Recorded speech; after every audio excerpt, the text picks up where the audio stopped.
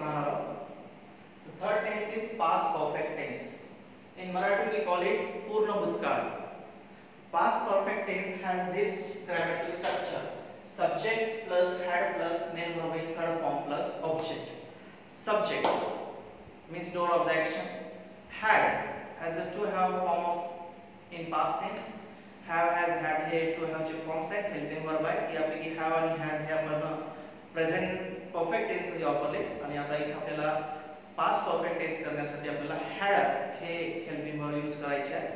त्यानंतर main verb in third form use करणं गरजेचं आहे. In the object this is the grammatical structure of past perfect tense subject plus had plus main verb in third form plus object याचे use काय आहे? If there are two actions happen in the past. कशात? If there are two actions happen in the past जर भूतकाळात दोन क्रिया घडत असतील तर किंवा घडल्या असतील तर the former action former means लक्षात घ्या former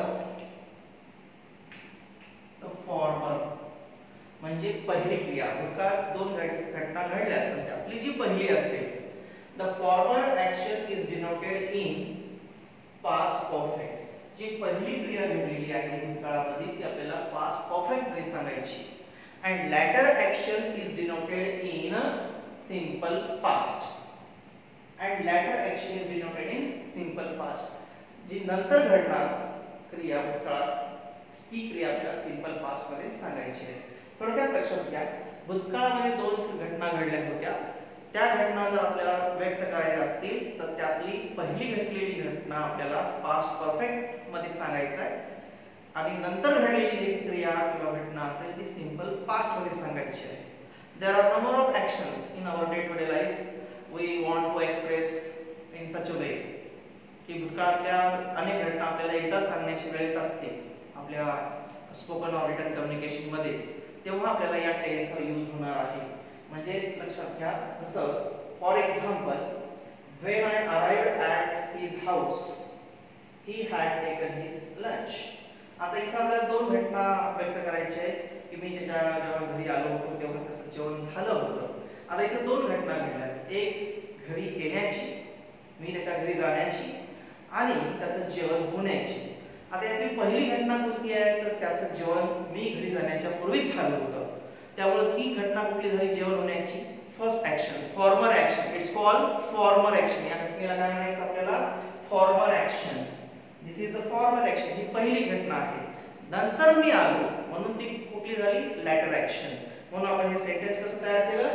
When I arrived at his house मी जेव्हा तिच्या घरी आलो होतो he had taken his lunch त्याचं जेवण झालेलं होतं. म्हणजे त्याचं जेवण आधी झालं आणि नंतर मी आलो होतो. म्हणजे फॉर्मल ऍक्शन आपण कुठल्या टेन्समध्ये एक्सप्रेस केली? पास परफेक्टमध्ये. आणखी एक्झाम्पल पहा when I reach at the railway platform the train had left मी जेव्हा रेल्वे प्लॅटफॉर्मवर आलो तेव्हा ट्रेन निघून गेली होती. घटना पहिली कुठली आहे? ट्रेन निघून जाण्याची.